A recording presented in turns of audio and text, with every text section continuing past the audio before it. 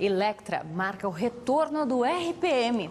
O novo disco do quarteto foi apresentado hoje em São Paulo. A repórter Gilmara Botelho bateu um papo com eles. Gilmara. que alguns minutos até se tornarem uma banda, o RPM, em 83.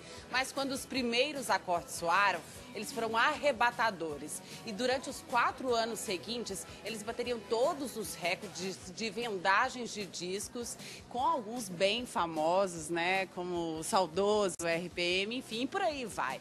E agora a gente vai bater um papinho com o Paulo Ricardo e o Luiz Escavon, produtores compositores, enfim, mil e uma utilidades aí. O mais novo disco é o Electra, é, que apesar de estar sendo lançado oficialmente só agora, quatro músicas já estavam rolando na internet. Já deu para sentir a receptividade, medir a aceitação do público? Olha, a gente sente isso muito no show.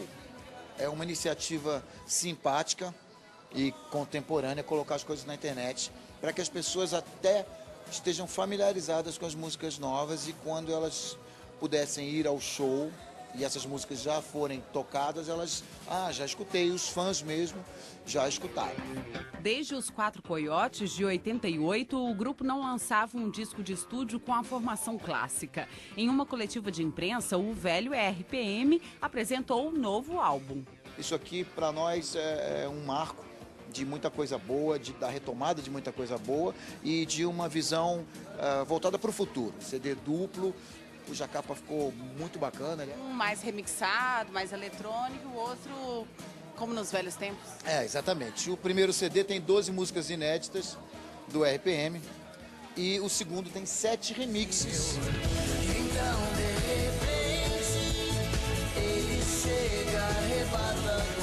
Dois Olhos Verdes é uma das músicas de trabalho desse novo encontro. A batida tecnopop dos anos 80 marca o ritmo em quase todas as composições inéditas. Sete ganharam remixagem e foram parar em outro disco, tipo dois em um.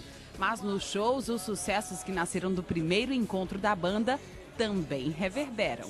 A gente trabalha para isso, para fazer de canções que nasceram ali no nosso quarto, no nosso estúdio, sucessos populares para as pessoas cantarem com a gente e é uma troca de energia fantástica. Você perceber que a barreira do tempo, que a tua, a tua obra ultrapassou a barreira do tempo. Tem muita gente aí de 14, 15 anos que está cantando é, as músicas que estão disponíveis na internet, o que é muito legal, as músicas novas, é um prazer pra gente, mas que estão cantando também músicas que são lado B de disco de 84. Eu adoro o programa e não vou deixar de dar o nosso site para vocês que estão conectados, leitura dinâmica, www.rpm.art.br art.art.br.